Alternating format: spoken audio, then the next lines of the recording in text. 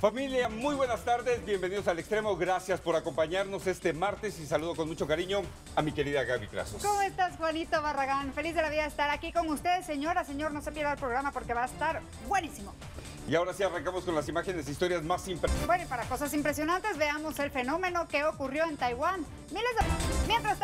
Chica estuvo a nada de vivir una pesadilla al pasar por un... Y bueno, asimismo, para, moder... para morderse perdón, las uñas, se vivió otra persecución a toda velocidad por varias calles.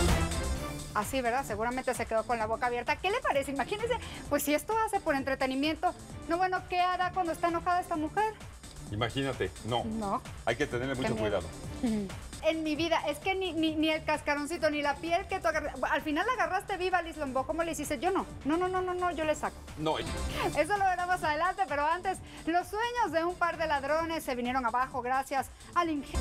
Bueno, y siguiendo con los espectáculos, el actor Andrés García, a sus 75 años, se encuentra.